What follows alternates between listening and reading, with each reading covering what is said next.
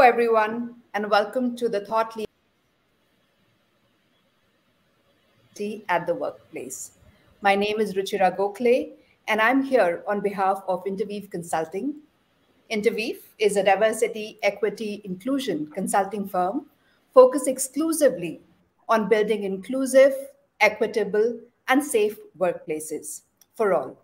To know more about us and our solutions, please visit us on www.interweave.in or you could write in to us at Mira, that is M-I-R-A, Mira at interweave.in.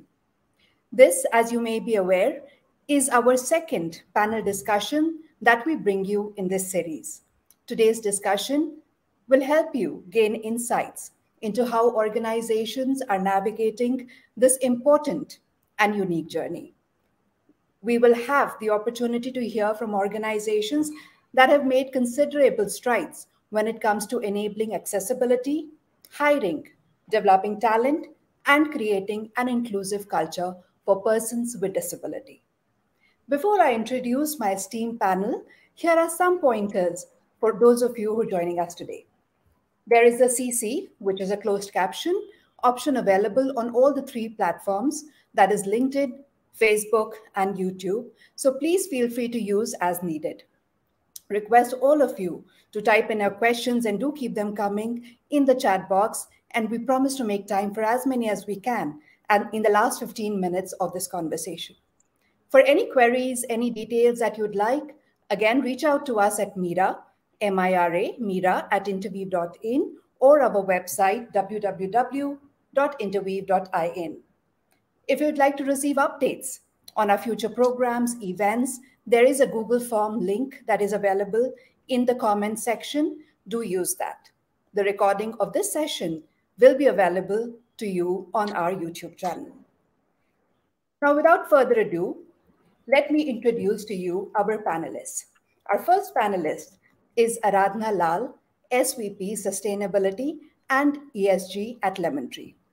Aradhna is a TEDx, TEDx speaker and leads sustainability ESG initiatives at Lemon Tree, including planet, environment, people, inclusion, and diversity.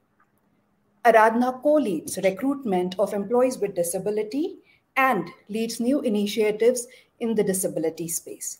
She has, over the last nine years, run trials with people with Down syndrome and autism, as well as visually impaired or with low vision. Aradhna is an MBA from IIM Ahmedabad and has 29 years of experience in sales, marketing, corporate communications, and sustainability. Welcome, Aradhna. Our next panelist is Rakesh Prasad, AVP and Head DNI at Indigo. Rakesh heads human resources for the in-flight department and leads diversity and inclusion. He is also a certified coach, and as part of his coaching intervention, he enables leaders and senior managers to enhance their self-awareness and have greater impact in their productivity. His area of focus includes self-mastery, executive presence, team integration, communication influence, influence without authority, and holistic wellness. Welcome, Rakesh. Our third panelist is Anjana Tiramil, HR lead, disability ERG at Microsoft. Anjana is an HR professional with over 15 years of corporate experience. Being passionate about DNI, she has been working in the space for over a decade now. She joined Microsoft in 2018, and as an HR business partner, she is known for her association with Disability ERG and work she has done with regards to hiring and onboarding of persons with disability. Currently, she is the Senior HR Manager for Customer and Partner Solutions India area supporting the customer success, digital natives, and small and medium corporate business teams and a member of Microsoft, Microsoft's HR DNI Advisory Board. Anjana, welcome to the panel. Our final panelist for this afternoon is Ranjit Jose, VP HR at Diageo. With more than a decade and a half of professional experience, Ranjit has had the opportunity to work in diverse organizations and the rare exposure to have set up and successfully run an entrepreneurial venture. His high technology and business acumen, with a hardwired approach to keeping things simple, has always paid off on the professional front. His areas of HR expertise are in talent management, leadership development, and strategic business partnering. His purpose in life at this point in time is, as he says, to lead with my passion for life, help others find meaning, and create possibilities. Welcome to the panel, Ranjit. So with this, welcome extended to all four panelists that we have. Let me begin with a question that I'd like to open to all four panelists. And the question that uh, I have is if you could share with us your organization's diversity, equity, inclusion philosophy with a special focus on persons with disability. Aradhna, could we please begin with you?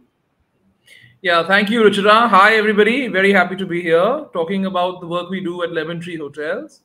Um, we are an organization which is now 20 years old. In September, we've just completed 20 years of our existence. And the inclusion and diversity work has been going on for 15 years. So if you look at it, it's become a part of our culture and the way we do business. Uh, when we started initially, it was an experiment, it was a pilot, and we started with deaf team members. Uh, after about a year or year and a half, an evaluation was done as to how that whole program and that pilot was working. And our understanding was that if we train those team members well, they perform the job as well as, if not better, than other team members. And the fact that they cannot hear or speak is immaterial to the work that they're doing. So we move forward from there saying, let's make this part of our HR policy. So today, hiring people with disability and what we call inclusion and diversity is a part of our HR strategy. We are at this time 85 hotels in 52 destinations within and outside India. And every time we open a new hotel, when we are planning the staffing, suppose we say this hotel has to have 100 staff, and there should be so many in front office, so many in food and beverage, so many in housekeeping, and so on. Within those teams, we are also saying that there should be so many. So, suppose five or seven or 10, whatever that number is, depending on the team size, should be a person with disability. So, it's planned from the day you start hiring for that hotel. So, what I want to really uh, sort of submit to everybody here is that it's part of our culture. It is the way we do business. It is an HR approach. It has nothing to do with charity and it's not experimental anymore. It was for the first one year, but not anymore. And today, of course, uh, there are multiple kinds of disabilities. There is deaf, there is uh, physical handicap, low vision, acid survivor. We've also moved into the intellectual disability space. So there's Down syndrome, slow learner, mild MR, autism. And going forward, we're going to do some more because you know the RPWD Act of 2016 expanded the definitions to 22. So we'll work on more of. We're already working on more actually right now. So broadly speaking, it's a cultural and a strategic initiative. All right, thank you so much, Aradhna. We are going to hear more about the great work that's happening at Lemon Tree. Ranjit, could we hear from you, please? Thank you, Ruchira, and thanks for having me here. I think uh, Diageo again uh, is globally known for its DE&I, and last year we were uh, one of the top employers in the UK, awarded uh, in the UK for D&I and our presentation and a representation for the community across the world.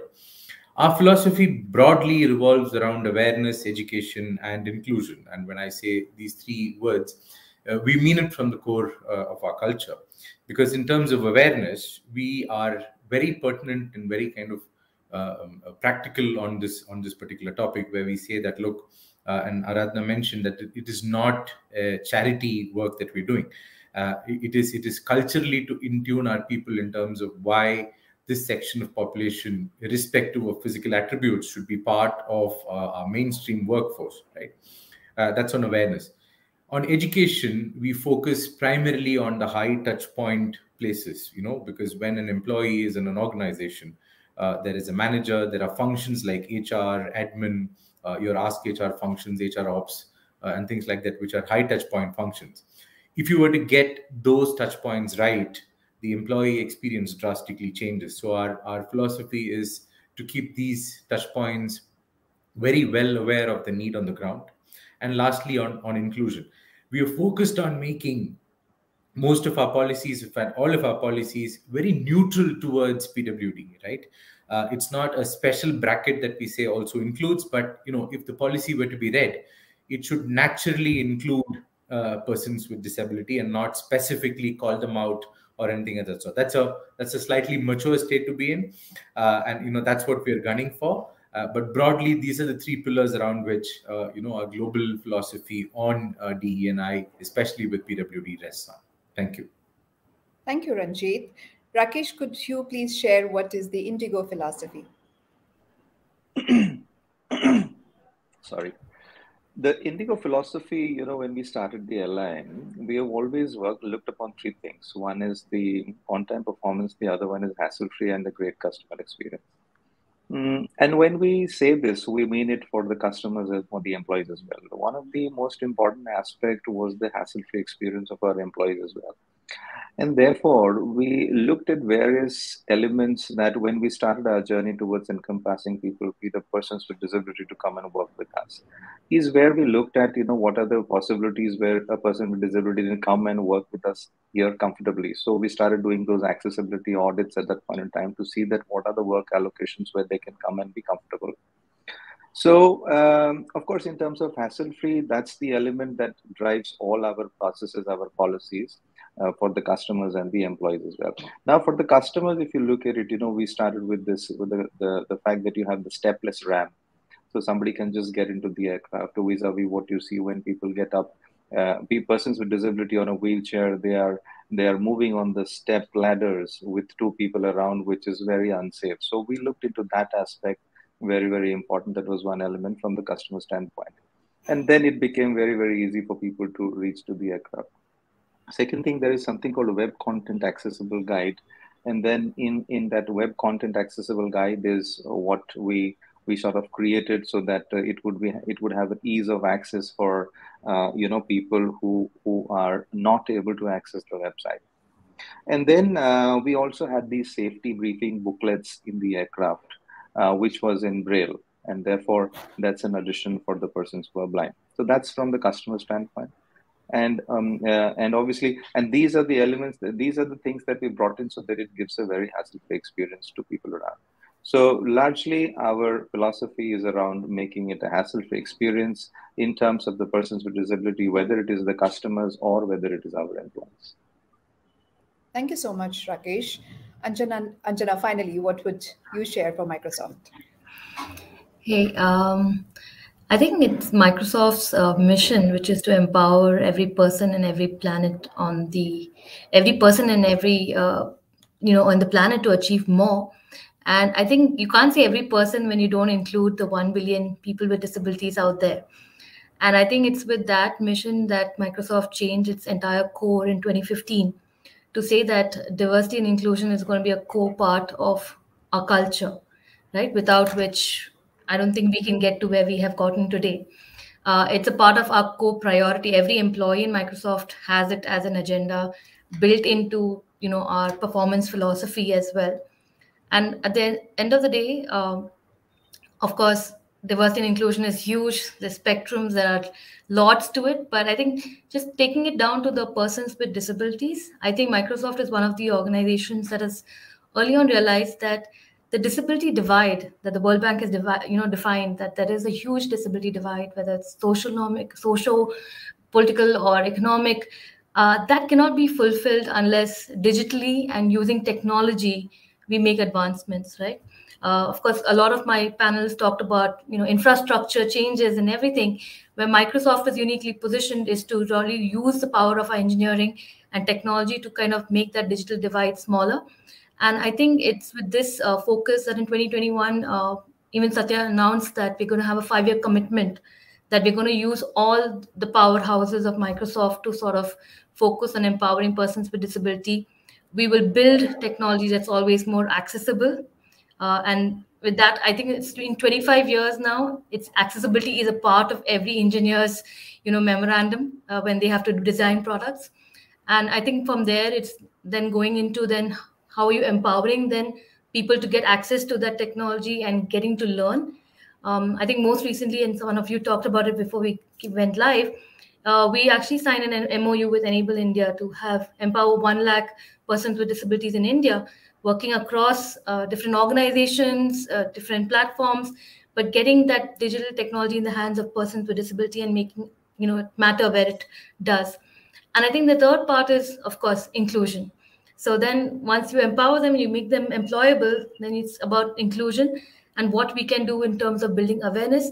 Um, I think one of the things that we've always done is take something like, for example, accessibility badging, which was an in-house training program we did for employees saying, hey, understand accessibility and get yourselves ready to, you know, talk accessibility.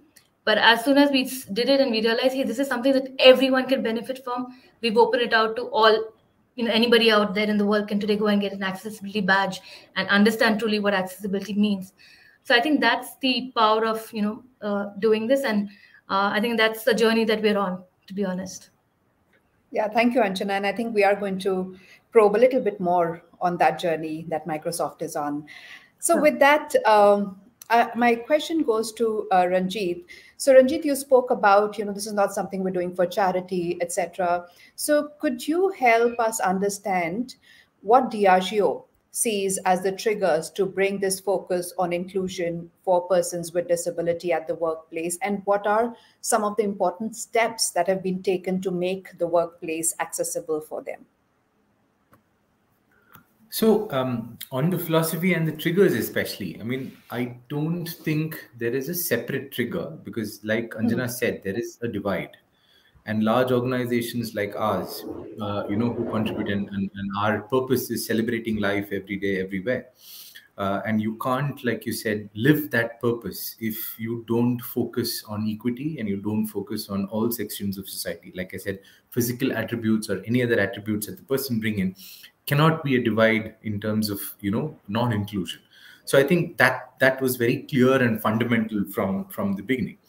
The second aspect is you know it's great to talk about all of this but actually when the rubber hits the road uh, you know are you holding your leaders and your people accountable for this? So so we have a very number metric based target to say that look we will represent. And you know our industry is difficult. Our industry is in the service in the hospitality industry very much like lemon tree and uh, indigo. Uh, and you know uh, and, and the challenges there are are, are, are multifold.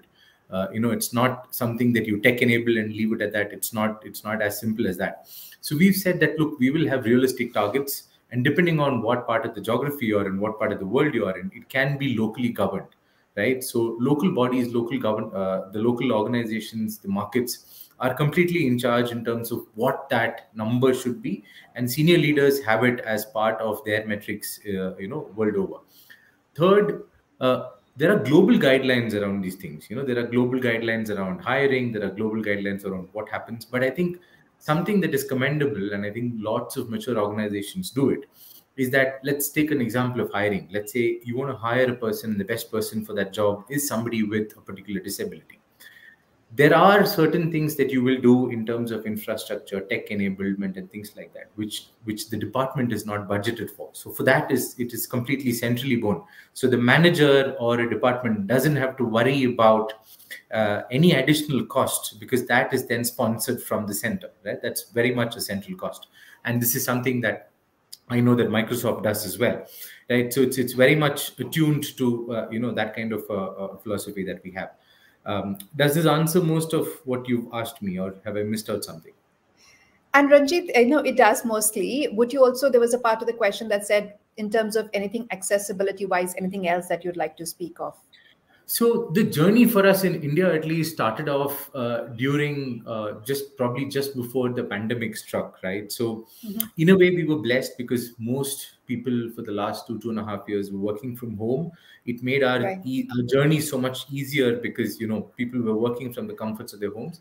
But we took that time to do our facilities audit. We took uh, a lot of care in terms of making sure that all our facilities, at least the ones, the larger ones in Bangalore, uh, uh, you know, and across India are accessible to uh, uh, right. PWDs.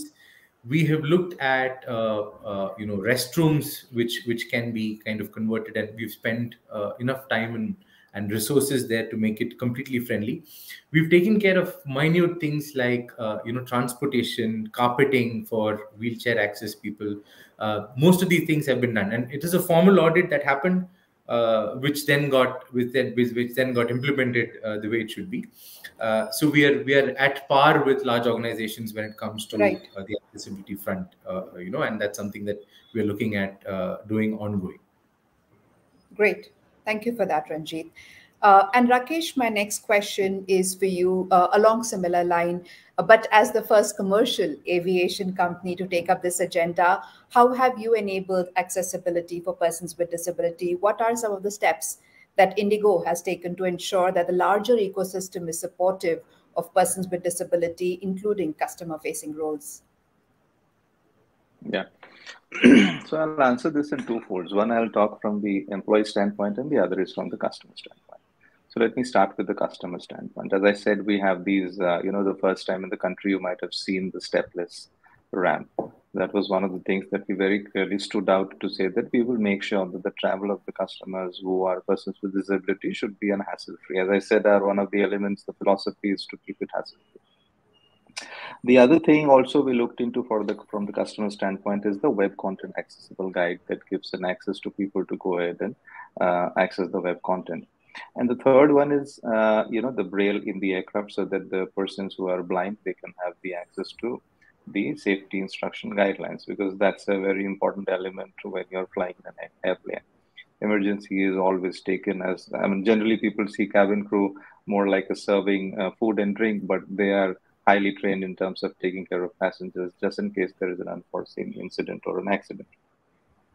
These are a couple of things that we looked at from the customer standpoint. From the from the employee standpoint, um, when we started, obviously we also reached out to uh, to understand from the industry the people who have been doing great, like you know Lemon Tree. We reached out to uh, Hari in Lemon Tree, and uh, you know they were very very supportive of uh, you know talking about the practices they have. so we learned a lot uh, even before getting in and talking about the fact that we want to uh, give opportunity to persons with disability come and be a success, come and be a part of the success story of Indigo. So that's uh, one sort of a research we did. A lot of study went in there. Then the accessibility audit, and then and then of course we went out to say that okay now we are very open to you know let the persons with disability come and join us we also did the role mappings because in airport if you see largely the people who are there uh, in the in the organization the major major chunk of them are resting in the airport operation and customer service department which is which are the people when you see when you get into the airport. So there are a lot of these roles where you the where the person with disability especially the locomotor disability cannot get into for the fact that the infrastructure is different it is a little elevated and things like the ramp areas where you know the the ramp area is a little unsafe for them for the fact that somebody who's a deaf and mute cannot listen and there is a coach coming from behind so very very vulnerable towards such kind of an incident or an accident so therefore, we looked at the job, map, the role mappings, that which are the roles that we can truly bring them in where they feel comfortable. So our priority was that for a person with disability, they should be more comfortable than anything else, and that's what took the front seat.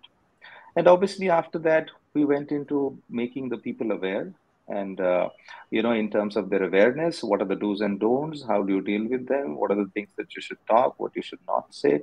And there are many of them that we you know went ahead to talk about it. And then we also introduced some of the things like you know refreshers. Refresher an annual refresher which will be obviously an e-refresher for people to keep getting refreshed on things that they have learned about do's and don'ts of persons with disability. And then we went ahead to say that uh, to the managers that, okay, now this also becomes your responsibilities to make sure that this is constantly and sustainable process of awareness. And therefore, we launched something called diversity and inclusion champions. And these champions do what they do in, in, in airport. You will see generally the operational team, they do briefings and debriefings. So before going for any shift or a duty, the whole team will come and do a briefing. If there are any specific things that needs to be addressed, that will be spoken about in these briefings. So we said, okay, let's introduce that as a part of the DNI champion checklist. And uh, these are some people called eye coaches who come and talk about the sensitization of people in terms of persons with disability. Of course, other elements were also there like LGBT but we said okay that let happen let that be there so that you continuously and enough and more talk about it and that's how it becomes an affirmation to people to go ahead and execute the way we think about it. Because as ranjit said it's very very correctly you know what's right on the floor when the tire hits the road uh, what did you say? The tire hits the road you know that's when you really get to know what it is like. And therefore that was the most important aspect to make sure that people on the ground are very very clear about what our thought process is, what our strategy is. It should not be a strategy. We said, you know, strategy, uh, culture eats strategy for breakfast. And therefore, we want to create a culture where we don't want that what we do is what people don't know. So it is a very transparent culture. And then, of course, it had the buy in of the leaders. Because at Indigo, we have diverse people working across the length and breadth of the country wherever we have our stations. So we had the buy-in of the leaders, and then leaders also pushed it from there. And so therefore, adoption of the of the practices that we launched, assimilation of people and adoption of the practices that we launched was uh, was hassle free and easier as compared to had we not done all of this. Yeah, thank you for that. So I think what I gather from both you and Ranjit is the kind of journey that you've been on for a few years. It's not something that just suddenly has been a focus. It's been a sustained journey and effort. So, uh, my question uh, is for you next. Um, so we all know lemon tree is known for the success that it's had with truly integrating persons with disability into the workplace. What we really like to know is how have you gone about you know building that talent pipeline including both hiring and developing talent? I think this is one of the most critical areas and in fact very often the first step even that most organizations continue to struggle with. So this will be very helpful Yes, sure, Ruchira. I, we have in fact developed a model. Before I come to that, I just wanted to add, uh, based on what Diageo said and Indigo said, our inclusion is also toward both employee and consumers because after all, we are right. hotels. If we cannot welcome guests of different abilities, then what's the point? So all our hotels are built to universal access design and they're very accessible buildings. We seem to have another advantage from a client's perspective now that because our team is so well trained in understanding in disability and in fact all our employees know sign language. So the whole company knows english hindi and sign language indian sign language. So it's really quite powerful. And um, you know the guests who come here suppose someone is deaf or someone's visually impaired or maybe even an autistic guest they feel uh, kind of comfortable and they feel that the staff will know how to engage with them so it's a very interesting fallout of our employment of people with disability that the faith that consumers place in us is uh, of a different order. So I just wanted to add that point. Coming back to your question, how do we go about it? And if another company were to uh, want to build an inclusive culture, how shall they do it? Um, it's really quite simple. There are, we've called it the seven pillar model. If you don't mind, Ruchira, you can share the slide and I can speak easily. You can just yeah, go to the yeah, absolutely. Where the, where the seven yeah, I pillars. think the slide comes up. Yeah. The next one, yeah. So what we realized over a period of now 15 years was that for an organization to be able to truly integrate inclusion and diversity into the company, uh, it's important to go through a certain flow. Now, sometimes one of these steps comes before the other. We've numbered it a certain way, but actually a few things work parallelly. So the first step really is the vision and the cascade. This means it comes from the very top of the organization. It is not something that should be a DNI agenda or an HR agenda. It really won't work. So the person who's the head of your company, chairman, president, country head, whatever that role is called, uh, should be on board and should understand that it is part of the business model and it's not a matter of charity. The same needs to be cascaded to the C-suite, to the whole team of CXOs, because eventually the implementation is done in different departments. If you take a hotel company, operations has to understand, sales has to understand, marketing, finance, engineering, housekeeping. Everyone has to understand that this works well and they have to believe, obviously. The second aspect is you need a dedicated resource, such as earlier Hari and myself together. Now Hari's moved on from Lemon Tree. Uh, and there are other team members who are handling it from HR. The third aspect is sensitization. Now, this is really critical just because the person heading the company and the leadership team believes and understands diversity and inclusion doesn't mean our entire 6,500 employees can understand, especially those who are new and joining us through the year. So, sensitization is a process where you're kind of briefing them and telling them the logic as to why are we going in for disability. Plus, if in their team there's going to be someone who's deaf or someone who has Down syndrome or someone who's an acid survivor, how are they expected to engage with that person? They have to be taught that as well. So we take the help of our NGO partners to do that. The job mapping process, uh, Rakesh referred to it, in fact, is where we observe the tasks with the help of our NGO partners who are experts in disability.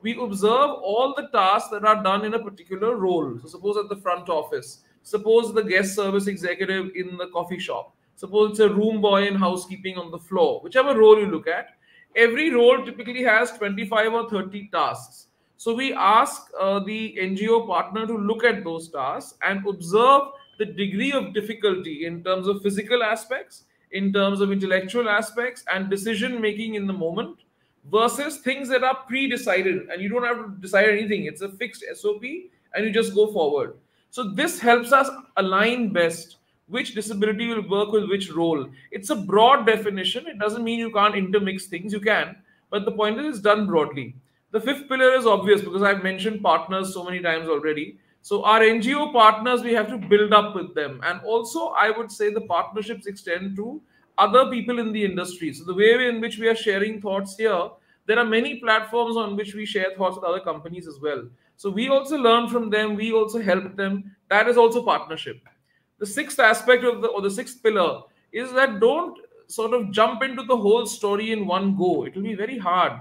Run some pilots, run some traineeships monitor them well and review them because you need to learn that what is not working. Is there something wrong with the training process? Does the SOP need to be redefined? Are the other team members not briefed enough? Are they not getting it? So, therefore, another sensitization needs to be done. What needs to be done to improve the entire working? And then naturally, we go to the seventh pillar, which is you scale up. So, for any organization to say that they are inclusive, it's important for them to make it a national program in their company and if it's a multinational company, then hopefully international. Diageo already mentioned that. Microsoft already mentioned it. Both of them talked about it. So it becomes a global program eventually. Maybe it comes from an international uh, place, or maybe it starts in India. It doesn't matter where it starts. But the point is, it, it needs to scale up to the whole organization. So, broadly speaking, this is our seven pillar approach for inclusion. And if any organization has more questions and wants to know more, we can talk about that. Thanks, Ruchira. Yeah, thank you so much. Uh, this is a this is a great framework for anyone who's starting out, and I'm I'm sure there are listeners who are benefiting from seeing this.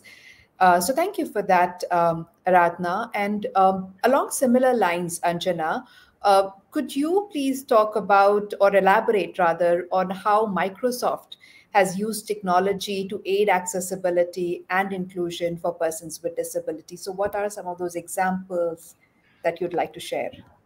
Yeah, and I think uh, I, before I start into Microsoft, there's this wonderful philosophy of inclusive design, right? You design for all or you design for one.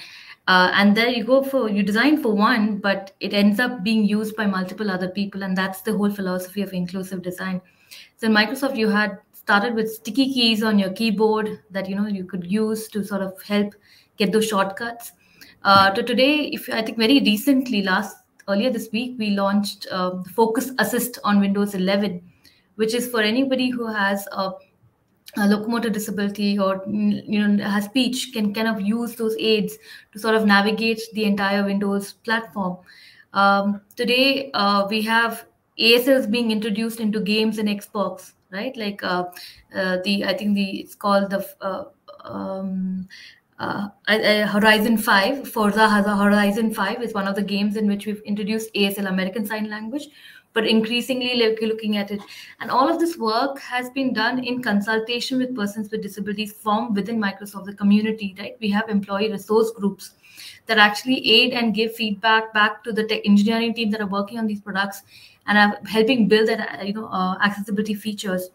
Uh, the Xbox Adaptive Controller was another such feature that was created keeping in mind you know that hey persons with disabilities need different devices they want to be able to plug in those different assistive technologies and uh, you know uh, chargers that they they use and they're familiar with and how can we make it more accessible to them so i think uh, the work that microsoft has been doing has been on the lines of inclusive design which I think is keeping in mind persons with disability. But one of the stories I like to talk about is, you know, there's this whole Seeing for AI app that Microsoft has built. So you can actually download it. It's an application that you have, which is used largely by the persons with uh, visual impairment, right? Community, right? They can use it. You point it at anything, it reads the text, it describes what you know image you're looking at or what vision you're looking at. Uh, and interestingly, once I learned about the app, I have started using it to convert any uh, you know posters or any hard uh, uh, you know pages that have text on it into digital text because that's what the app does right for someone uh, who is not with visual impairment they have leveraged it to read out the text and they can also convert into digital text and i use it for my you know immediate digitization of physical content and i think that's the beauty of it. Uh, the bendy straws was created by a person uh, for his daughter who could not drink, but is used by everybody today in terms of being able to use. Um, and the last one, I have a story of uh, Shweta M, who's a senior program manager. You know, someone I'm very uh, big fan of, and uh, she's a person living in US who used to converse on Teams with her family back home. And interestingly, because she's a person who's hard of hearing, um, you know, lip movement was difficult when there was a background. So the entire blur feature that many of us are using today was invented by Shweta because she wanted to be able to converse with her family back home. And I think that's the beauty of just using technology to sort of uh, build in a feature that probably is, you know, helping the persons with disability, but at the same time, I think it's it's got larger implementation across as well. So that's uh, that's a little bit about what Microsoft is doing there today. Yeah, amazing work, Anjana. Thank you for that. And that story is something that I use very often as well, the blur feature, but now I have a name to it. I didn't so yeah. far. So thank you for that. Right. Um, so, uh, Ranjit, again, um, you know, you spoke about how when the rubber hits the road, that's really where um, whether people feel included or not, that's really where it matters.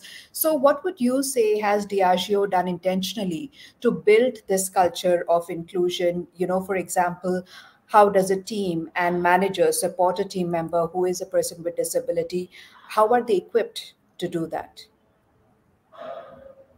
so two things um, uh, ruchira and thanks for bringing this up. Like i said you know this is coming back to the forefront at this point in time because you know we're calling people back to the workplaces. Uh, there's the, the entire uh, you know the exodus that happened is coming back now and all the more focus on on on uh, you know uh, how managers and employees uh, would look at this. So one is we had a very powerful program on unconscious bias and this was something that you know we ran across the organization facilitated by senior leaders.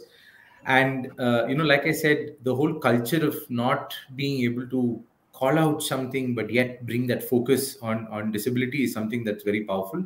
This was on on uh, disability on ethnicity on race on a lot of things that you know normally tends to fall under the unconscious bias category. So very powerful program that most of our employees in fact all of our employees have gone through led by senior leaders is one thing the second one and this is a journey that we've started um, we are we, are looking at and i spoke specifically about high touch point areas right so high touch point areas would be managers would be team members would be functions like facilities and services, HR, recruitment.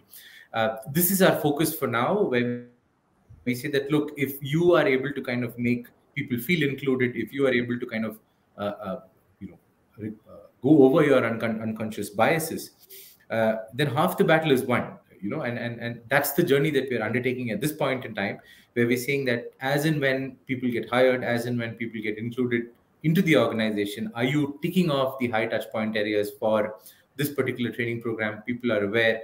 And then the next journey is obviously like we do our cost trainings and everything else, which are mandatory. And I'm very sure the law will also follow suit in terms of uh, you know the larger organizations catching on. Uh, we, we're thinking of making this mandatory at some point in time, you know, where everybody is equipped and trained to deal with and handle and to include uh, uh, people with different physical attributes or disabilities for that matter. Yeah, very powerful stuff. Thank you for that, uh, Ranjit. And um, Anjana, we of course absolutely have to hear from you about the great work that the ERG for Disability is doing. We know that you have a very active ERG. So if you could share with us, how does this group influence the ecosystem for continued inclusion and innovation? For sure. At Microsoft, we actually launched the Disability ERG chapter for India in 2018. And I think at the time of launch, uh, even we weren't sure, like, you know, what's going to happen with this org or this group. Uh, you know, what impact is it going to have? have? And very interestingly, one of the persons who came up and you know came forward to sort of lead the group was someone who was who had a hidden disability and was not vocal at that point of time about the disability, but had a lot of passion and conviction. And that sort of helped us form together. Today, we are a group of about more than 500, 600 people, persons with disabilities and allies. But what I've seen interestingly over the years is that uh, in the core team, right, which started out with maybe one or two persons with disability, you know, signing up and voicing out and saying, "Hey, I want to be part of this." Um, you know, for passionate people with vision disabilities, hearing disabilities. Today we have people with locomotor disabilities, uh, neurodevelopmental disabilities, all signing up and saying, "Hey, I want to be a part of this. I'm passionate," and, and we have allies and that number increasing and the representation increasing in the core team itself and then of course the larger uh, erg that we have that's for me is a good indicator of you know we're doing the right things. And how does it align? Um, i think all our employee resource groups align with microsoft's diversity and inclusion plan uh, and we have four pillars to it right? Um, transforming our culture empowering our people uh, increasing the talent pipeline and then delighting our customers. And I think we've taken the same four pillars for our ERG as well. It very much aligns to what we want to do when it comes to persons with you know disabilities and the inclusion of the same. And we've really put those pillars as our charter and created these core groups that work, saying that okay, um, transform our culture. What can we do?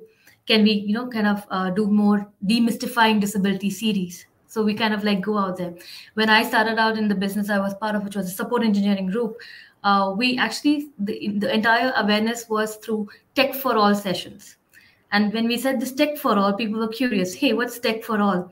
And interestingly, we brought in one of the persons who's, you know, talks about accessibility and evangelizes it. And he just talked about, did you know the amount of tech we have and the features that are accessible that makes it accessible for a person with visual impairment, person with hearing impairment, you know the minute you sort of sensitize people in that fashion and you understand and you bring in then a person with disability showing the usage of that feature and demonstrating how he or she does their daily work i think that really opened up mindsets.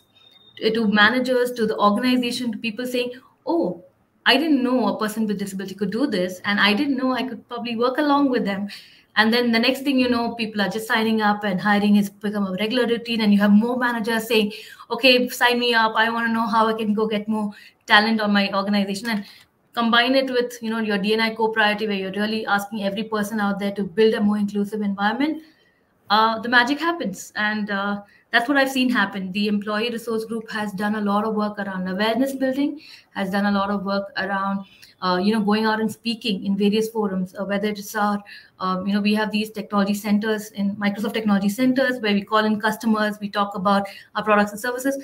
We bring in the ERG groups to talk about accessibility, and you know that that really helps delight our customers as well. So I think in every forum, in every possible way, uh, we've been, you know, really evangelizing, talking, and um, to me, honestly, that's uh, this is one passionate group that I think really needs no motivation. Uh, at the same time, it's fun, it's energizing, and it's exciting to be part of. So that's the employer. Yeah, group. thank you. Thank you so much, Anjana. And just a very quick follow-up question: Is there some specific training or equipping for the allies of the ERG in the ERG? we don't distinguish between the allies or persons with disabilities. And like Aradhana right. had said, sensitization is something that needs to be done broad based and across. Uh, so right. we do, uh, and, and, and, Microsoft has invested in a lot of trainings when it comes to inclusive hiring and you know specific uh, disability etiquette trainings, accessibility 101 badging that we do. Um, I, I, like to talk about disability etiquette. It's one of my favorite training programs. I myself just got a train and I went ahead and trained like 100, 200 people, actually a seven member organization on it. But it's it's fun. It's it's really really going out there and telling people that hey, you know what, uh, it's okay to not know. And now that you know the language, you know the etiquette, you know the you know the terminology. I think many people don't even know that persons. I mean, we adopted the persons with disability terminology, but many uh, folks are even reluctant to address a person with disability because they do not know what's the terminology they need to use and how would they describe it right so i think starting out right from there and to going yeah. on to then hey talking about that we need to level the playing field it's a it's a divide it's it's not the person who's disabled but it's the society it's the environment yeah. it's the technology that needs to change and i think that shifts mindsets a lot so yeah. um, i think that's the trainings that we've done Absolutely. Anjana, there are a, few questions around the ERG, uh, but I'm going to just keep them those for the end. There's a couple of audience questions, keep them for the end. So there is more that you will, yeah, um, we will request you later to speak on with respect to ERG. So, uh, Rakesh, uh, you know, one of the things that we'd like to also hear from you is I'm sure there have been challenges, right? So, what are some of those unique challenges that you encountered, and how have you been able to navigate those? On this journey? Yeah. so, in terms of challenges, uh, as obviously people who are not used to working with uh, people with persons with disability and then getting into working with persons with disability, there needs to have a uh, you know mind shift. Now, in that context, as I told you that when we did this awareness session so we realized that uh, people might feel that you know, working with the persons with disability on certain roles where they will be taking a little more time than someone else. Like, for example, uh, in a check-in counter when you go as a passenger, there is a turnaround time because there is a whole queue right behind. Right. So these were some of the some of the apprehensions that people had. Uh, but other uh, and therefore when we reached out to them and we had these awareness sessions uh, and you know talking about what are the great stuffs that they can do how would they be able to engage with the customers and the employees better? What is it that is going to create an uh, conducive environment for them and for you? How will that emotional intelligence and that compassion come as a whole uh, you know as a as a as a, as a into into the workplace so all of that uh, then slowly, gradually changed their mindset. And then managers who earlier used to say that we will have a restriction in terms of the total number of persons with disability in the stations are now forthcomingly stating that they would want to have more persons with disability because they have seen the, that you know working with them builds a culture builds an environment where people become more compassionate uh, and i remember this when i had spoken to you know a very long time ago that he said it, that, that that sort of an environment builds in that people are more compassionate. Uh, and that was definitely stuck into my mind. And as um, you know anjana was saying about the workshops and they have this erg group. Similarly we have this uh, you know the dni champs. We call it the dni champs. And uh, these are the folks uh, who do these sensitization sessions which i spoke a while ago in various forums in briefings and debriefings. And we also have a, a nodal officer uh, to look into the grievances, if any, from the persons with disability. And uh, so, so these are some of the things that we created to to see that you know whatever the challenges we had and how do we encounter them by having some of the other means which would sort of one was obviously the awareness second was sustaining the awareness through various refreshers and creating a nodal officer so these are the things that worked and to see right. how much is it working or not you know while we mm-hmm. do but what is the success are we really successful or not we we have this employee uh, survey which we call it 6e speak mm-hmm. as you know indigo our our our call code is 6e uh, so in the 6e survey you know we introduced this question on diversity and inclusion and over a period of time now we get a fairly a good response that people are saying yes it's working well within the organization. So these are some of the steps also uh, you know that we created so that we understand where we are in terms of our challenges and how do we measure our challenges and how do we measure our success. Yeah thank you so much for that rakesh. And um, ratna just um, coming again back to lemon trees to um, help us understand or you know share some of those unique initiatives that have worked for you in terms of inclusion and empowerment of persons with disability. If you were to quote a few of those unique initiatives which one was would this be? Yeah well sometimes i wonder which one is unique. I find them yeah. all very um, so i'll try to take two different uh, two which are very different in nature One is with respect to the deaf colleagues that we have, the speech and hearing impaired, since that's the largest number, it's very important for us to build an environment within the organization that uh, gets stronger and better with respect to sign language, because only then the environment becomes truly inclusive for them. Uh, and I think also what Ranjit spoke about, the idea of unconscious bias, that's also a very important thing to work uh, work towards to remove unconscious bias. So I'll talk about two, three things we try to do with respect to the deaf, and then I'll talk about intellectual disability, separate, very different. One is, of course, teaching everybody Indian Sign Language. So we have classes in 85 hotels twice a month whenever anyone is joining on the joining date. Each employee is expected to learn the alphabets, basic numbers, not too many numbers, but about 20 or something, days of the week, colors, and the 10 golden phrases. You won't be able to construct new sentences and all. It will be very hard. Like you might make short sentences because you know the alphabets, right? The main thing is everyone has to take a test and everyone has to pass the test with 80%. If you don't pass, you take it again and again. We don't limit you. So you can come for the class again, you can come again and you know pass. But someone is tracking that at the time of joining, everybody is learning and passing with respect to growth in the organization, when a person has to move from an executive to a supervisor to an assistant manager to a deputy manager and so on, there'll be two things inside that person's performance management system, uh, you know, tracking and the, the KRAs. One will be the goals and targets to hire people with disability as well as people from economically and socially marginalized. I just want to clarify. I know the subject today is about disability, but our inclusion program is uh, there are two segments. One is disability, and one is economically and socially marginalized. That includes transgender, uh, orphans and abandoned girls, widows and battered women, people who are school dropouts, like they haven't gone beyond class nine, and certain focus states like Northeast, Bihar, Jharkhand, and all, certain focus states also.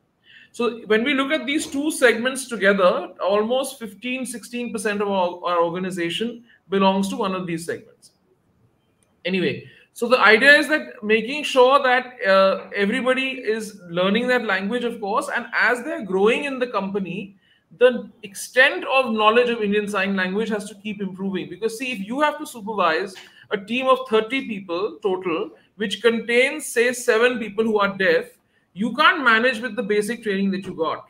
So you have to learn more and get better and practice. It's all about practice. It's a language no if someone teaches me Spanish, I'll have to speak it. Otherwise, how will I do it? Right. So it's built into that. That's one aspect. Second aspect, with the help of one of our NGO partners, Sai Swayam Society, we built a DVD. This was about 10 years ago. So now it's available as a soft file, obviously, uh, of a vocabulary of 400 words in the hotel industry. So, you know, salver, a cruet set, blah, blah, blah, B&B plate. You know, these are very specific words in the hotel industry. So we built a dictionary, a visual dictionary of 400 words with Indian Sign Language. In fact, uh, Hari, our, my colleague, had led this piece of work and it won a very nice award also. Uh, we've won an award as a company, uh, the uh, Indian government award many times for best employer. But I'm saying this item, this uh, dictionary also won. So this is another very useful thing because then the hearing team members can engage very fast and well rather than trying to spell out cruet set like that. You know, it's too difficult. You can't. You need one sign that says cruet set. You know that way. So um, that was another area. Plus, in our learning and development team, it's been a few years now. We have hired an Indian Sign Language expert. So normally we go and hire hoteliers someone who understands front office, someone who understands housekeeping. They have done that work in the past. So, as a trainer, they know that function very well and they can train. We now, for the purpose of our deaf colleagues, we hire an Indian Sign Language expert who has nothing to do with hotels. And then our head of learning and development teaches them what is hotels all about. So, teaches them front office, food and beverage, housekeeping, obviously not engineering, it's too technical, but the main operational areas so that trainer then handles all the uh, deaf colleagues. I'm trying to tell you because it's a very large focus area for us. So here's one story. The other story is let's look at intellectual and developmental disability and autism. We run two different internships because there are two different NGO partners and the way of engaging with these team members is slightly different. In the case of autism, they are able to read certain content written in a very simplified way and written with some visual graphics and all. In the case of Down syndrome and slow learner, reading is a little difficult. So it has to be through verbal uh, explanation and through role plays and so on. So these internships that we are running, they are part of the live functional area. So they are live in the coffee shop or they are live in housekeeping. They obviously have a buddy present at the workplace who can guide them every day. They have their managers and supervisors who are keeping an eye open. You see, because when they're training, they may not know all the answers and they can make mistakes, they can forget some task. So the managers have to make sure that the service continues now, this is essential. Rakesh talked about the time it takes to check in a guest at the Indigo counter for a flight. So we also have to worry about the time it will take to serve an order, the time it will take to get the bill, or in the room, the time it will take to clear a room. So one of the mandates we have given ourselves is that when we hire people with disability, we've got to train them in such a manner, align the SOP in such a manner that the service the guest receives is as good, if not better, than what they would receive from a person without disability. This is crucial because if we decline and we take our service standards down, then it's not a business model. Then you're failing the business model. Why should the customer wait for the bill to be given for 25 minutes, suppose, for any reason it's 25 minutes, rather than five minutes? Why should he wait? This makes no sense. Or four minutes or whatever.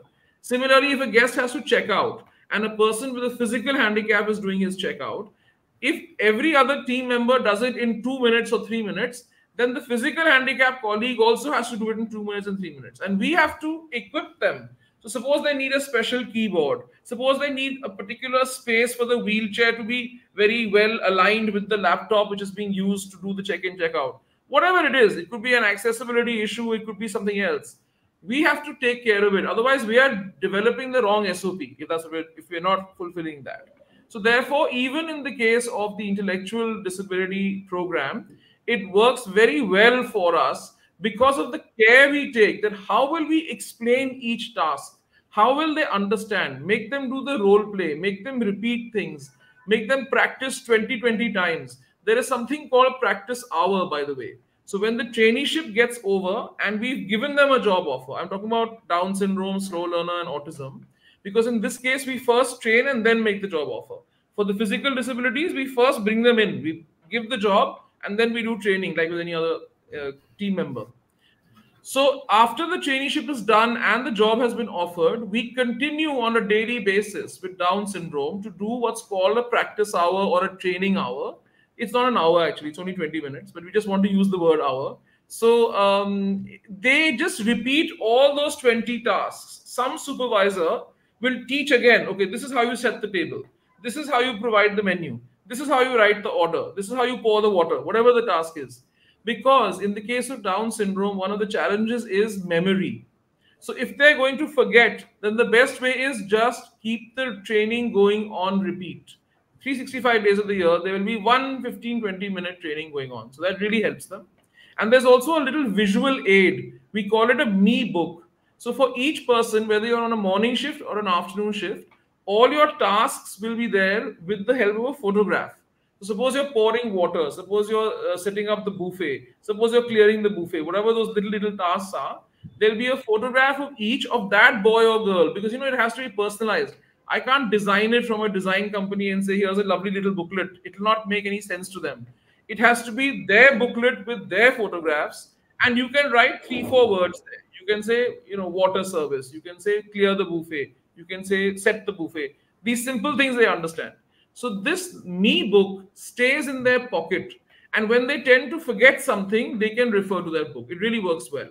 So what i wanted to highlight in these two conversations was one was the kind of aspects you have to think of when you're dealing with a large group of employees like the deaf and what are the aspects you have to think of that even though the group is small but their needs are very, very special and very different. So, how do you work around it? And our NGO partner, Muskan and Action for Autism, obviously helped us in this work.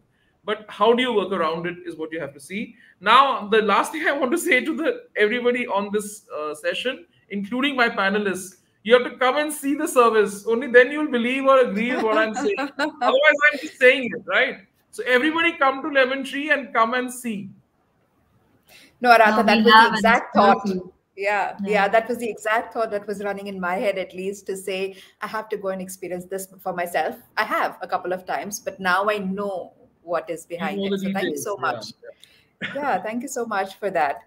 So before we get to the audience uh, questions which are uh, pouring in, there's a final question to all of you. You can all quickly just respond to that, and we'll get to the Q and A section. Uh, you know, we'd like to hear from each one of you on what have been those important lessons that you've learned. I'm sure uh, the listeners that we have today will benefit greatly by hearing what are these lessons so that they don't have to reinvent or go down that path. Over to uh, Anjana, would you like to go first? Oh, sure. I've had so many learnings. It's you know difficult to capture, but and the learnings continue. Um, interestingly, the you know the first hire that we did, and when I when I went on this initiative hiring persons with disability, uh, this was a person with locomotor disability, and uh, he joined the organization day one. I was super excited. You know, had put in so much of effort, sensitizing organizations, sensitizing talent acquisition.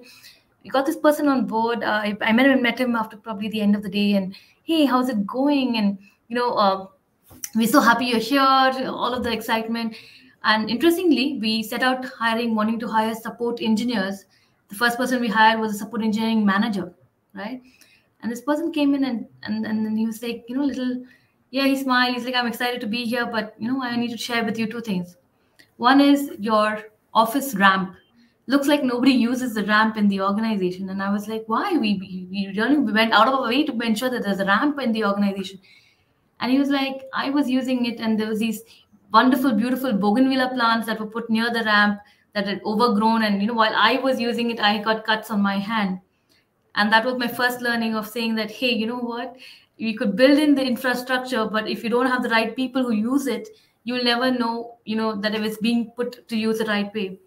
Um, I've had a similar instance with braille signages that we put up, and then someone who actually needed to, let, you know, read the braille signage came back and said, you know what? It's wrong. This, this signage is wrong. It's, it's, and so then unless you do it and you have the persons who need it utilizing it that's the first learning. And so keep hiring you may make mistakes and i'm acknowledging humbly that we make mistakes but unless you bring them in and they tell you you'll not correct. Today that ramp is plant free right? Um, second thing he brought up was you know what i have uneven legs uh, for me going to the cafeteria walking around with a tray on my you know in my hand and getting food is embarrassing because I might drop it. Uh, so what can you do for me? And you know, with his help and with our sensitized facilities team, we were able to design a trolley with a tray that can be used. Uh, I think, and that can be used. And then, interestingly, over the years, I've seen not just this person use it. I've seen a pregnant women. I've seen a guy with a fractured leg using that trolley in the cafeteria, and that trolley then got on to design in every cafeteria in other locations as well. So that's been a learning for me as well. So I think um, that was fun. Two is, you know, uh, our mindsets. We all have a lot of fixed mindset. We've come up in schools and the social political backgrounds which we have brought been brought up. Uh, there is a lot of unconscious bias, as Ranjit said, and I think just being able to, um, I, I had done I had done this beautifully. We got in uh, the Human Library Organization, so they came in and we actually put books and we had people with disabilities as books you know human books that people could go in and read as chapters. And when you interact with a person with disability that's when you get to know a lot more than what you just have this tv and media knowledge otherwise fed into you right?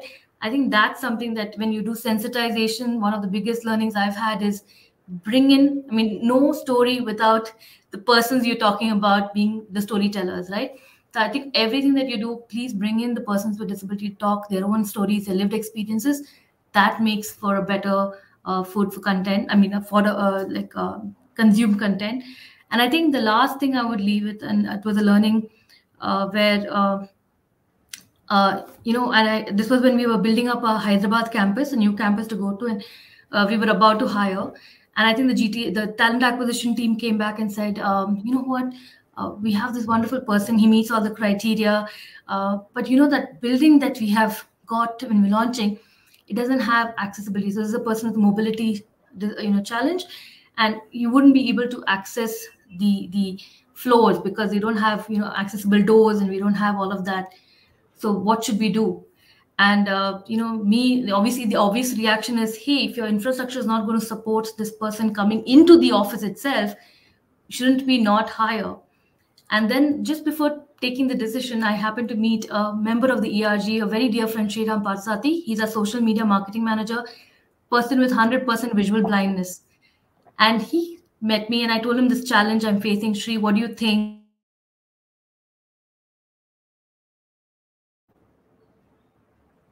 Hello. Did we? Hey, am I audible? Please Hello? continue. Yeah, we can hear you now, Anjana. Okay, so I was saying that um, you know he was like hire the person for the role and with his capability and ability to do the job, the infrastructure, the uh, the everything else environment you need to change and you need to work on changing for that individual. So do not stop the hiring and i think that was a learning for me and i take to all my hiring managers every time i talk about it that if the person is capable of doing the role that you know you're you know if it's an engineering role if it's a, a managerial role if it's someone in hr if they have the abilities then don't let infrastructure accommodations come in the way that's for us to go back and fix and not yeah. come in the way of hiring so i think that's the third learning and i'll leave it at that because i think there's a lot more but i think these are stories yeah. that really made an impact on me yeah no, thank you so much. I think you know it's been insightful. Uh, thank you, Ranjit. What would you say are your top learnings? So I think uh, you know one of the things that you know I think I would urge organizations wanting to kind of embark on this journey is to is to very specifically look at uh, equity and responsibility and where your organization's maturity stands on on both of this because as leaders uh, you know and, and, and i'm not saying that you know all of all, all the organizations have to be on the other end of the maturity curve. There, there could be there could be journeys that each organization will follow. But i think it's very very important to ascertain the maturity on on which the organization is before embarking on the journey or at least kind of making that that way forward. That's number one. Number two um, you know again related to the same point you know you can also influence this in multiple ways. And i don't think you will tick off all your boxes. You will not cross all your t's uh, and dot all your i's before uh, hiring uh, or including uh, people with disabilities. Um, because you know there is this age old debate of whether it is dni or ind right? What comes first? I, I think it holds good for pwds as well and i think that's something that we learned very specifically from uh, the journey that we undertook saying that look let's bite the bullet. Let's do this in all earnest with the right intent of being responsible with the right intent of being an equal opportunity employer. And like anjana said uh, if the maturity is right everything else will follow. So don't wait for the the ideal setup. Don't wait for the ideal conditions before you can before you can start your journey. Uh, i think it is the other way around. You can start small you can go as you uh, kind of kind of mature in this journey. You can partner with uh, people that you're looking at uh, to make this a much more memorable experiential uh, journey for everyone. Thank you so much. Very helpful ranjit. Rakesh what would be the lessons you'd like to share? So uh, one of the most important uh, thing that we understood is that let's not jump the uh, let's not jump to meet targets targets because there is a target that everybody is hiring pwd so we should also do that. I think the most uh, important uh, aspect here is that first create a conducive environment for somebody who's going to come and work for you. So that's the um, otherwise you know it's going to be troublesome for everyone. And uh, when we talk about somebody coming and work for you the learning is that create that equitable you know, uh, proposition for the persons with disability uh, and give them the right tools to perform. As most of us here, the members have said that, you know, we ensure that that accessibility is in place. Uh, the third one is that the mind shift of people, you know, because unless and until people are enough and more of aware about various uh, various elements of uh, how to deal with persons with disability, like Ranjit was talking about unconscious, conscious biases so we did a we did a campaign as well called Bust the Bias campaign, and we took up various uh, you know categories of uh, uh, you know persons with disability, and we also spoke about LGBT, and we spoke about these bust bias, and, and then we had some of the leadership talk about their their biases on uh, you know such elements, And the last one is, of course, the leadership buy-in. I think unless and until there is no leadership buy-in, because anything that you do under the PWD has to flow from top to down. It just can't be the other way around. Uh, and of course, the, uh, the the training part, because we realize that it just cannot be a one-time intervention. There has to be a constant, uh, constant push and constant talk about such factors that you have taken that as an organization uh, in the forefront. So, so therefore, these are few of the things that I feel are extremely important and are learnings which, uh, if somebody wants to bank into this journey of uh, onboarding PWD, should keep in mind. Thank you very much, Rakesh. Aradhana, finally over to you. I'll say two things. One is uh, by providing a job opportunity to somebody who has a disability in a country like India, um, we are helping that person live with dignity and live with confidence. Um, it is amazing how that person's personality undergoes a change, how that person's physicality undergoes a change. Obviously, if he's a person in a wheelchair, he will not stand up. I don't mean that. What I mean is the way they push themselves and the way they can stretch and they can take something which is constrained and make it less constrained because we give them a chance, right? So when we do the job mapping initially, that's not the end line of the job mapping. Because if you allow them to work for six months, one year, two years, for those same employees, you can do the job mapping again and you will be amazed that there are certain tasks you left out because you said the comprehension is too difficult for someone with an intellectual disability, or you said the engagement with other people is too much for a person who's autistic, or you said something else. Now, and therefore you kept that task out because that person has developed over six months to a year to two years, you suddenly realize that they can do something different. Example, for Down syndrome, we said they will work in the coffee shop as far, part of the food and beverage service team, and they'll be in a place where there are other colleagues around. Which means if something gets a little, you know, missed out, there is someone who can very smoothly step in and help that person at that time. So we said when it comes to in-room dining, it's going to be very tough, which is room service because they'll have to go to the floor in the elevator and go serve that guest on their own. You're not going to send two staff. Now, what's the point then? Then you just send the other staff. We made them learn eventually, some of them, not all of them, some had the ability. Over more than a year, year and a half, we didn't let them go independently. They shadowed another person to, to understand the floor. So when I come out of the elevator and I have to go to room 546, do I go left or do I go right? He cannot take long to decide. He has to decide fast and also, when he reaches the door, what does he say? How do you ring the bell? What do you do? They observed and observed and observed hundreds of times. And then they practiced, and the other person observed till they became independent. And this was a task we left out of their de- job definition, saying, no, no, too complex, can't do. So, what I want to say is that when you treat them as normal, it is amazing how much more normal they they try to be and they get into it and they participate and they engage and it's it's totally fabulous what that kind of development leads to. So I wanted to say that that yes, do job yeah. mapping. Remember, there'll be evolution as well. The yeah. second aspect I wanted to say, especially to companies who so far may not have yet started this journey, or maybe they've started and it's very early. I'm going to borrow from Nike and say, just do it because that's the only way you will make this work. I can talk about the seven pillar model, but then it can become theory. I'm telling you, just do it. And if you have questions, we are all available to you to share thoughts and share ideas. So that's what I want to say. Thanks. Yeah, that's something you know. I wanted to, to, yeah something. Yeah, Rakesh. Something yes, I want, something I wanted to add to what Aradhana said. You know, you, they constantly evolve, and that's so true because I never realized after till I watched, um, you know, a series in uh, Prime Video which was called Good Doctor Good Doctor. So I don't yes. know if any one of you have watched. It's you know, that series talks about how does an, an autistic guy has become the best surgeon in the town, and how can he do things which are even better than the best of best doctors in the town. Absolutely. So you're, you're very true. I think it, they, they, keep evolving with the passage of time, and we have an example in our in our uh, airline. We have a deaf and mute person, Ashok, and he's in Chennai so when he joined and what he is today, and he is just around the corner to be promoted, and uh, and that's the power of empowering people who are persons with disability, and and and so that's that that's that's what I wanted to add.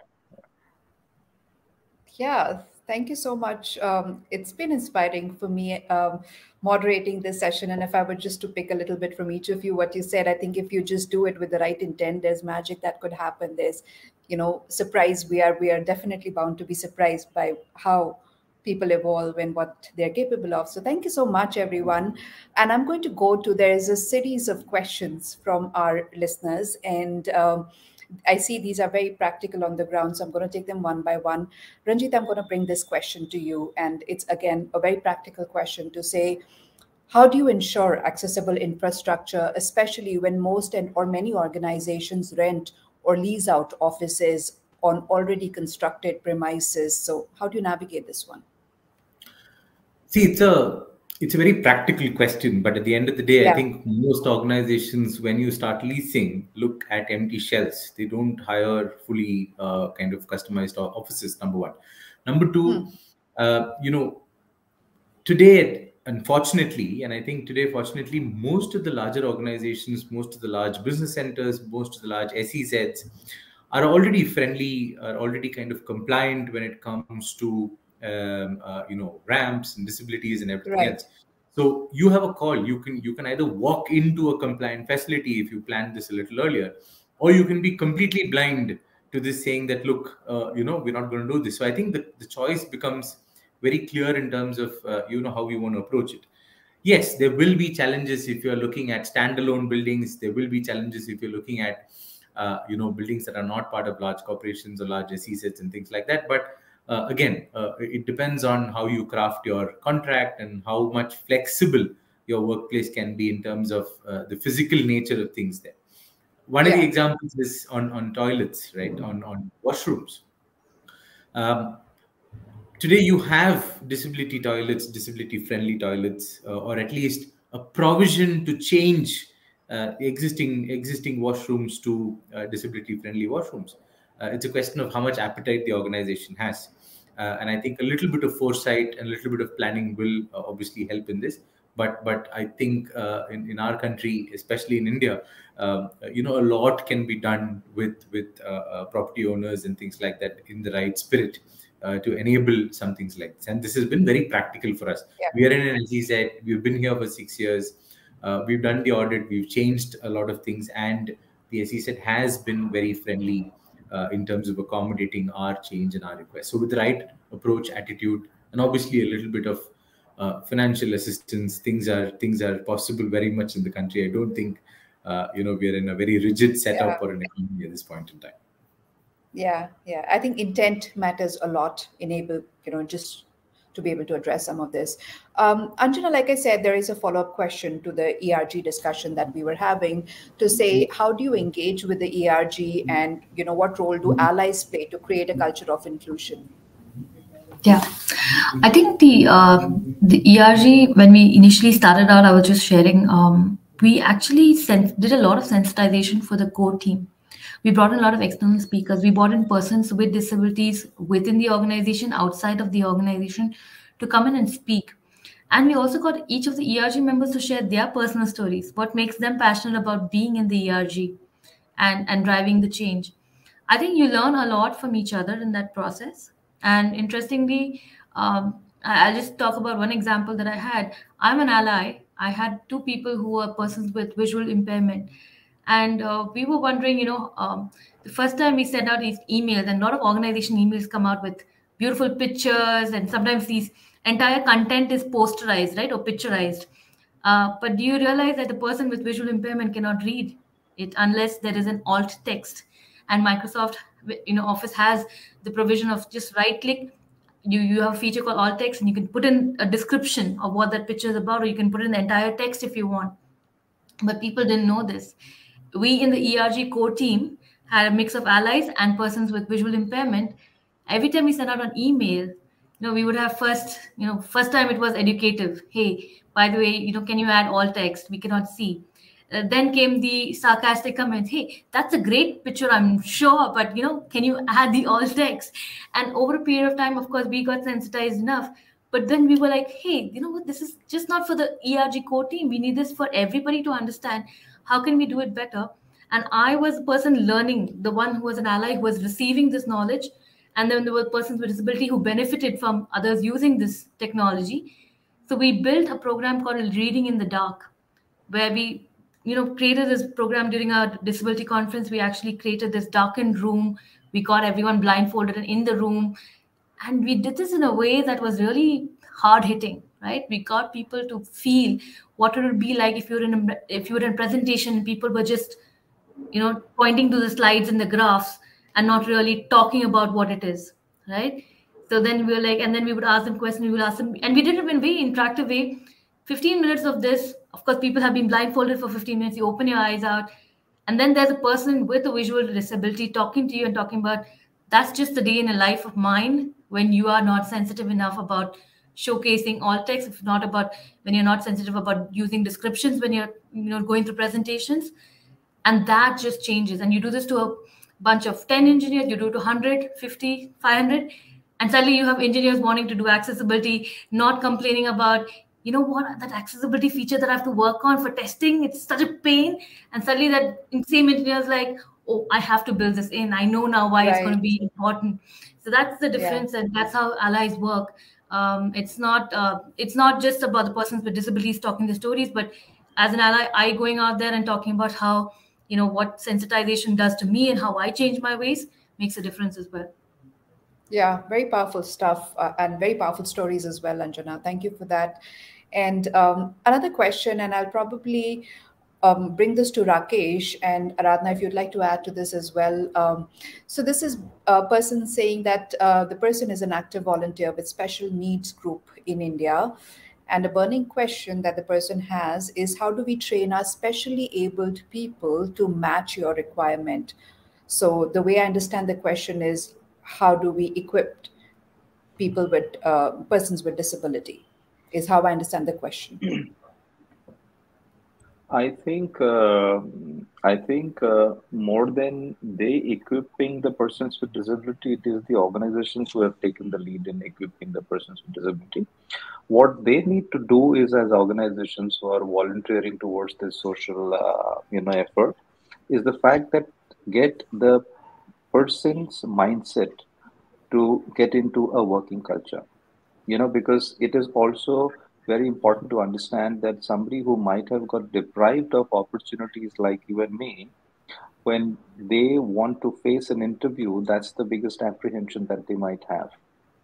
So preparing somebody for facing an interview and then meeting those eligibility criteria there is where probably their role will be very very important and predominant.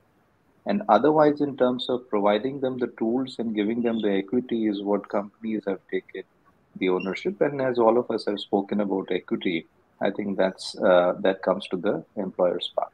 That's what I think. Sure. Yeah. Thank you, Rakesh. Radna, is there anything you'd like to add? Yeah, I'd like to add to that. So essentially, it's not that an NGO or a training organization is going to teach the person with special abilities how to work in a hotel or how to work in an airline, because it's not possible unless you run a full-fledged program. The way you run a hospitality or aviation program, there are some uh, organizations, by the way, who've partnered with colleges who run these programs, and they're running a hybrid version uh, between their center mm. and that college. That's a great thing, but it's a it's a everybody's not able to do this so the expectation from the NGO partner or the training organization is to help them with professional skills, life skills, like Rakesh said, get them ready for the interview. But I'll just like to say the interview and the working life that's going to come after that. So, you know, what sure. is timing all about? What is the way you should speak to your team members? When you hmm. have two or three different levels of managers, you have to listen to all. You can't have that approach that I'll only listen to the top boss and I won't listen to anybody else. Because, especially in service organizations, there are different levels and sometimes there are uh, we are 24 hour operations right so the manager will keep changing as per the shift so that person we don't know which day that person will be with which manager. So that that professional approach that you're going to work in a service organization the customer is king etc that thinking is important. A sense of customer service whatever little they can do with respect to the way they speak whether they speak in english hindi or a local language. Obviously they cannot teach them the whole thing but they can help them improve a little bit. Uh, they can teach them a little bit about computers. They, they may not teach too much but just a little bit but sure. they they cannot teach how to be a member in food and beverage service in Lemon Tree Hotel. That they cannot teach. It's too complicated and it's too specific to us. So we will do that once they come. That's our job. But certainly professional skills, life skills, and engaging with the trainee and the family about taking this employment very seriously. So you, if you are expected to be on a morning shift at 7 a.m., then the time is 7 a.m. It's not 7:20. It's not 7:30. It's not 7:40 hotels and airlines don't run like that. It's not possible. So getting that sense of responsibility. So this is what i wanted to say to everyone out there. I know there are some parents of people with special needs who are on this session right now.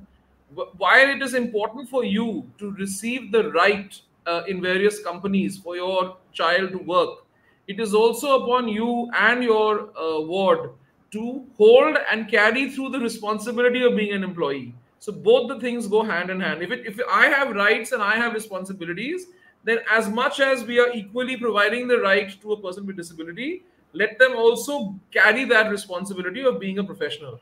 So I think this is an important thing that the NGO got that sense of professionalism. Sure, thank you for that. And I think I'm going to open one final question from the um, Q&A section, and you know anyone who'd like to take a shot at that. I think retention of employees with disability is is a challenge um, or at least it's perceived so and that's one of the derailers for bringing in uh, persons with disability. So you know any of you would like to talk about how do you sort of navigate that challenge of retention? I can have a go at it. Um, sure. so with us what we are experiencing is two kinds of team members. And since we are dealing in large numbers we get a chance to see it more one team member is within say 10 days or 20 days that person will leave. Because they'll say ye humse nahi hoga. This is not going to happen. Why? Because it's a 9 hour shift it's 6 days a week and your day off may not be sunday. No it's a hotel sector. Correct. so and in the case of physical disabilities we also assign night shifts where we can like where it's convenient for that person to do. In the case of intellectual disabilities we don't because they get more disoriented and then they cannot perform at all. So there's a biological reason for that actually. Right. So what I'm saying is within 10 days or 20 days or maximum one month, that person will say that ye to mere bas ki nahi hai. I cannot do this. And they'll be gone. And that attrition is okay for the company because that person's orientation is different. That person is not geared for doing a full-time job. It's all right. The sure. second kind of person is who stays three years, four years, five years, maybe more. And sometimes if they leave, it's either for education or, of course, they get a job with a higher salary. Or maybe they're relocating back to their hometown where one of our hotels is not there. That also happens sometimes, the family sure. situation. So you can't do much about those things. In the situation where the person is moving because of a better salary, you can't combat that either. You can't say, Acha, you are going for 1,000 rupees more. Don't worry, I'll give you 1,000 rupees more. It doesn't work like that. It's not a bargain situation like that what you can do is you can relook at your market salaries. You can understand that are you at the right place or not as an organization. Sure. from an hr perspective and you can build that in. Also if we can show them growth then obviously they'll stay with us. With respect to the environment in the organization i have found that our employees with disability find it excellent. The reason is some of them who have left and joined another organization it is fabulous. Within 6 months sometimes a year they come back and they say, Will you rehire me? The amount of rehires we have had wow. with employees with disability, it's not funny because they say that organization is not ready. One manager or one HR person said, "Aa jao, aa jao, we will give you great salary and all." उसके बाद खत्म उसके बाद नहीं हो रहा है whether it's another hotel or a retail store or wherever it is it doesn't matter where he went sure. i'm saying this is another interesting thing to keep them engaged and retain, it's about how you create the full environment and culture in the company and how you compensate them. Obviously, they are worried about salary. Of course, yeah. Just a That's quick one powerful. I want to add. I understand, sure. Ruchira, we have to end this session. Just one touch there, adding on to what sure. said. Um, you know, how do you how do you make them see their career path? I mean, are you actually making them equal in terms of anybody else? Yeah. Are they being treated equal? Because most of the people that we interacted with they don't want to be differentiated. And somebody said that they have to be in equal with everybody else who's there at the organization. What is their career path? Like like for example there are folks in our company who have grown through the ranks who joined as an executive and today they are managers they're doing a great job. And they've been here. One of them has gone into paralympics and won an award. So things like that, how are you engaging them within your organization? How do they see their career path? And obviously, uh, you know, something that Aradhana said is how do you continuously keep mapping yourself in terms of compensation in the industry? Sure. And what should make them retain is not in enough and more of surveys that we know across the world money is not the motivating factor all the time. Thank you. Thank you so much, Rakesh. Um, we'd love to hear more, but in paucity of time, Anjana, is there a quick one line that you want to add? I think the one line is reasonable accommodations. Ranjit had highlighted it that Diageo has it, but it's just the one thing that levels the playing field. Because any accommodation Yeah. you're giving, if it's from a central budget, then a manager or an organization doesn't worry about it. So that goes a long way in leveling the playing field, allowing people to travel, people to do whatever they have to get the job done the same way someone who doesn't have a disability can do. So um, Yeah. goes a long way in retention. I've heard it from the mouths of persons with disabilities. So Thank you for that, Anjana. And on that note of equality and equity, we will uh, wrap up the conversation that we have had today. But once again, my sincere gratitude for uh, to all the panelists who made time for doing this with us today. Um, very insightful conversation. I'm taking away a lot of lessons, as I'm sure are our listeners today. And all the panelists who've joined us, we wish you well for your continued efforts and success in enabling inclusion for persons with disability. So thank you so much for this. Um, a final reminder those of you uh, who haven't yet signed up for our next and final session in this series, which is on 29th, please do so at the earliest and help us spread the word within your network as well. With that, have a great evening ahead, everyone. Thank you so much for joining in. Thank you. Thank you, everyone. Thank you.